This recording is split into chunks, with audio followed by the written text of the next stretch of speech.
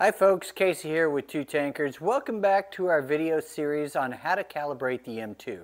Today's video is sponsored by MakerMade, the manufacturer of the M2. So let's look at the sled tab in Makerverse. Today we're going to take a look at that tab. We're going to look at the data that is required for that. What it's asking for is literally the dimensions of your sled. Because it's a standard sled design, it's going to ask you for the measurements from the center of the sled all the way around. Let me show you how that data is going to look.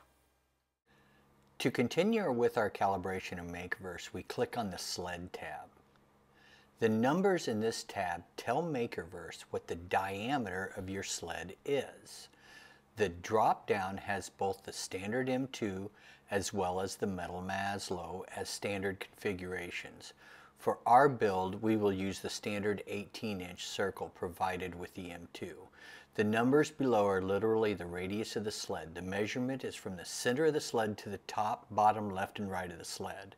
In later tabs, Makerverse will ask you to measure from the edge of your sled for calibration purposes.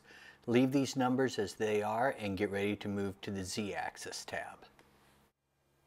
All right, folks, that's it for the sled tab. That has to be the hardest tab to fill out, right? All the data stays the same. Now we can go ahead and move on to our Z-axis calibration tab. And as always, if you like our content, please click like and subscribe. And if you're going to buy anything from MakerMade, please feel free to use my affiliate code right here. Save yourself some coin, and we'll see you on the next video. Have a good one.